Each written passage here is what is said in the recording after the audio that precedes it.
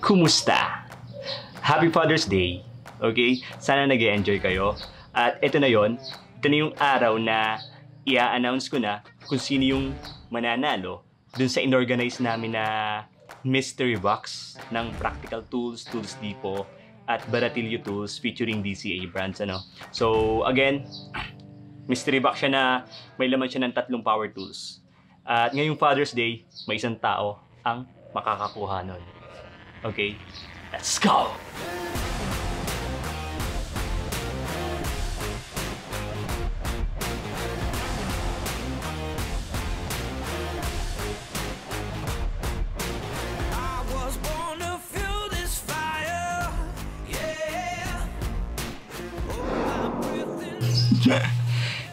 Pero bago yun, explain ko muna yung process ano. Totally, eto, hindi dapat talaga ito yung magiging process ano. Kasi random, random selection lang dapat siya. So may ginagamit akong website, encode ko lahat doon ng mga entries, then randomly it will select a name. Pero nung nag-start ako magbasa ng mga comments, mga last week, parang sabi ko, parang mali, parang hindi ko dapat i-disregard yung mga stories na to, no? So, dapat ko siyang i-consider. Just picking a random name using a website, parang hindi siya fair para sa inyo. Kasi you, binavalue niyo yung story ko, kasi nanonood kayo ng mga videos ko na may story, binavalue niyo yun, kailangan ko rin i-value yung story na sinare niyo sa akin. So, ganito ang magiging process. Hindi ako ma- hindi ako ang involved sa selection ano kasi kilala ko yung iba sa inyo at magiging ano siya bias kung ako yung pipili. So, ginamit ko yung lifeline ko. I call a wife. yun. Si, si Mrs. ang pipili nung five stories. Although, binasa namin siya lahat. Ano.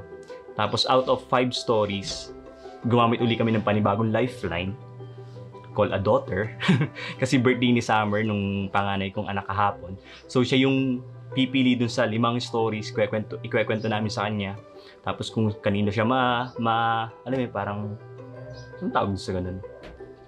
Matouch? Parang ganun. kung ano yung story na tumatak sa utak niya, impromptu, siya yung mananalo. Okay? So, wala akong kinalaman dito. Bahala na kayo.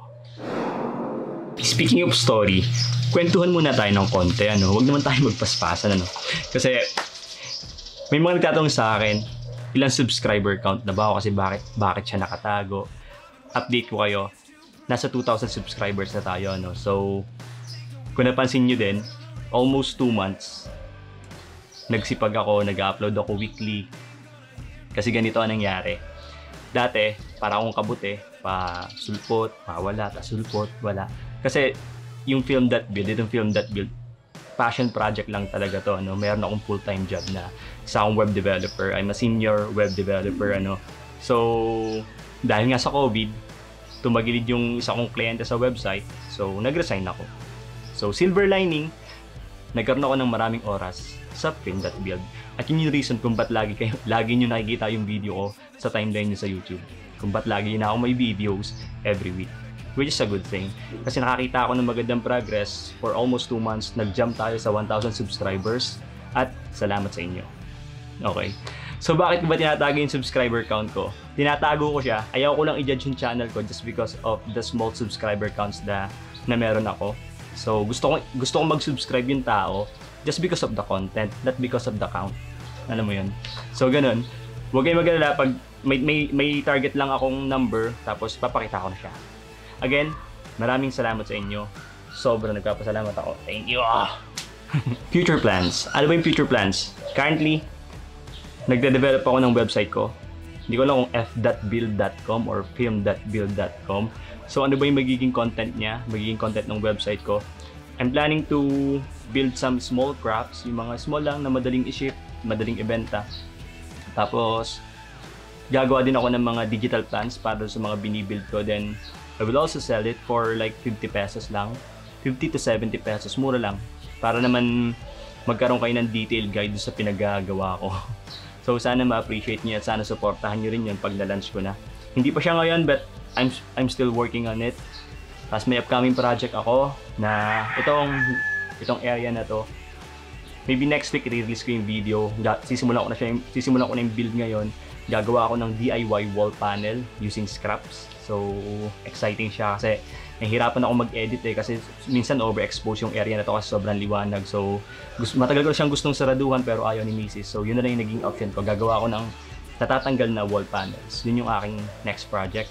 Tapos, um, sana may mag-sponsor pa para masustain ko yung yung paggagawa pag-produce ng video kasi katulad nyo, kailangan ko rin kumita ng pera at kailangan ko rin kumain.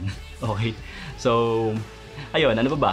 Siguro yun lang muna. So, sana nag-enjoy kayo sa, sa Father's Day at tatawagin ko na si Mrs., tatawagin ko na si Summer at siguro yung anak ko rin na isa na lalaki. Para ma-announce na natin kung sino yung mananalo sa ating mystery box galing kay Practical Tools, Tools Depot at Baratilio Tools featuring DCA. Okay? Let's go! Come here! Alright, eto na. Meet my beautiful family. Summer, Aki, Hello. Yugo, at wife ko. Hi. So ngayon, i-share na namin kina Summer at Aki yung napili ni Mrs. na limang stories na binigay niyo. Okay? So, Mami. Hello guys, fir- sa classroom may bata. Bawal Okay. lumabas yun. So, yung first story, merong magdaddy na construction worker. Hanggang ngayon ay wala silang sariling Oh. tools.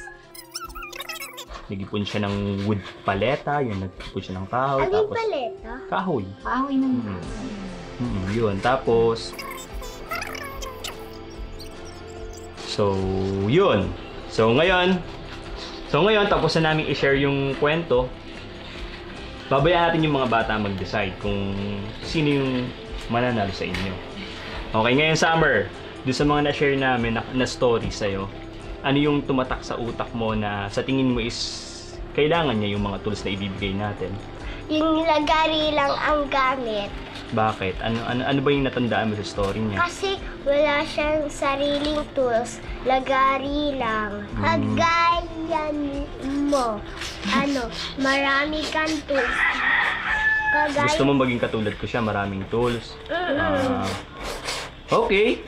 Sino yon? Ang pangalan ng story na yun Ah, ay... pangalan niya ay- I-review mo nga kung sino yun.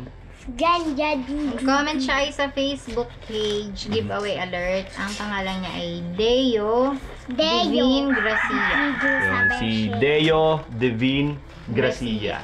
Divina Gracia. Deo Divina Gracia. Gracia. Congratulations! so, hindi man siya maging rason kung pa para mag alam mo yun, magbago agad yung buhay mo ng agad-agad. Sana maging Yay! rason, maging rason tong Yay! giveaway na to para alam mo para magpatuloy ka, continue, kapit lang, and something good will happen. Tapos, watch mo yung video na to para mas ma-inspire ka pa. And Pero teka! Pero teka! Nag-subscribe ka na ba? Subscribe na! Yay! Congratulations! Congratulations to you!